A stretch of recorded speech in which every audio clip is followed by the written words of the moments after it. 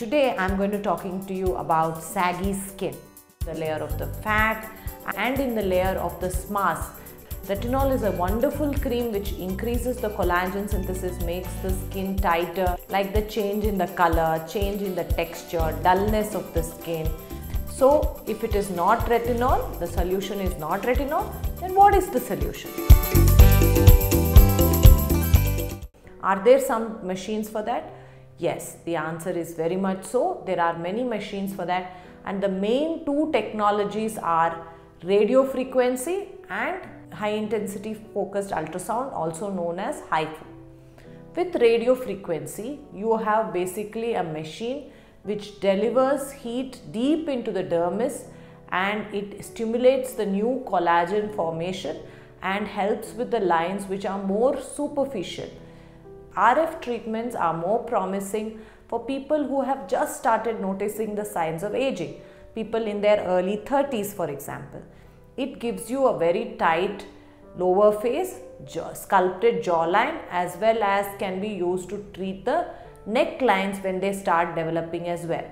RF can be safely done in the under eye area as well to tighten the sagginess in the under eye area. RF can also be used in other parts of the body like the breast the arms and the abdomen as well. With the use of microneedle RF technology, you can get a significant tightening in these body areas as well. RF treatments are not painful, they are well tolerated and have no or minimum downtime. That makes them ideal lunchtime procedure. That means you could walk in from in your lunch break to the clinic do the procedure and go back right to work and people wouldn't notice any redness or you would not have any discomfort and you could continue the work as a normal day. Treatments of RF tend to be cumulative and they need multiple sessions to give you full results.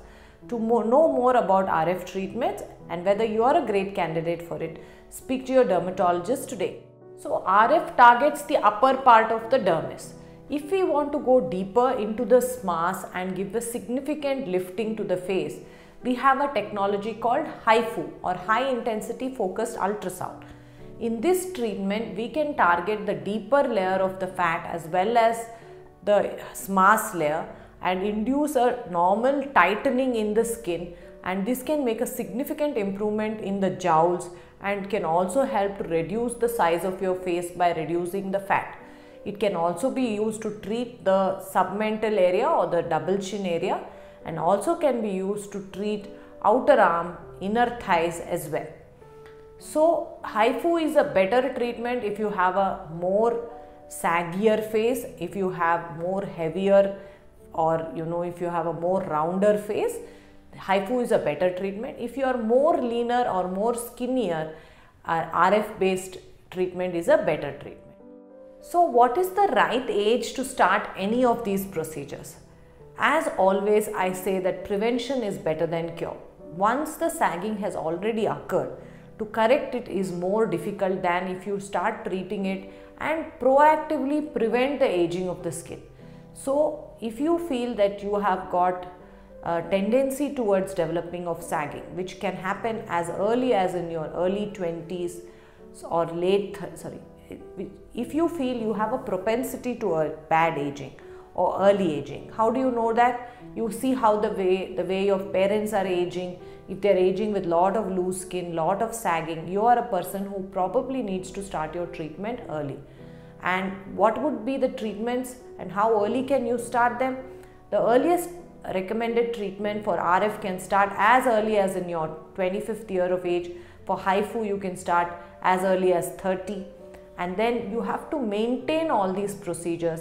Anti-aging treatments are never a one-time procedure. We are aging continuously. So whatever treatments we have to do has to be maintained on a quarterly or a yearly basis as advised by your dermatologist. Always remember that you have to complement these treatments with your diet, with your exercise and your lifestyle changes because those changes could make you age faster as well. So it is a good complementary treatment to have an anti-aging treatment, a good skin care and a good lifestyle to make sure that you look your best always. Speak to your dermatologist to know more. I hope this video has been useful and please like, share, subscribe to follow us for more updates.